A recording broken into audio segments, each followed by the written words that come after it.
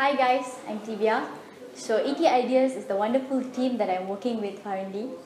Uh, where would I be if I never meet this team?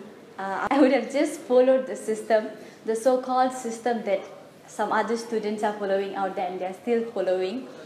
I followed what my heart wants. I knew what I want earlier, but I was not so confident in telling this out to people because I was in the science stream and I was thinking what would other people think if if, if they knew that I like uh, hosting, I like talking and stuff.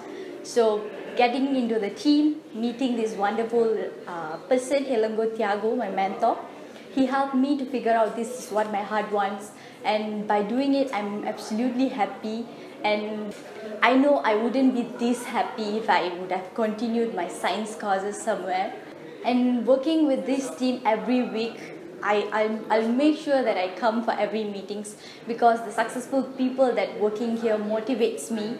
They really motivates me to work on my goals. And thank you so much to the team ET Ideas and Ilango Tiago to helping me uh, and guiding me throughout this period, following my heart and, and also pursuing my dreams on what my heart wants. Thank you.